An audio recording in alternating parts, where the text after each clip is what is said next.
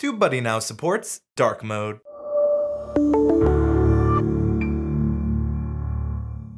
Hello TubeBuddies, it's Free Feature Friday, where every Friday here on TubeBuddy we like to feature a free TubeBuddy feature. Make sure to subscribe and hit the bell notification to be updated on the next free TubeBuddy feature. We wanted to make sure that your favorite TubeBuddy tools integrate with YouTube's dark theme. So now, when you select dark theme on YouTube, TubeBuddy's tools will automatically reflect the change and be in a dark mode. This can be seen on Videolytics, Search Explorer, and Channelytics.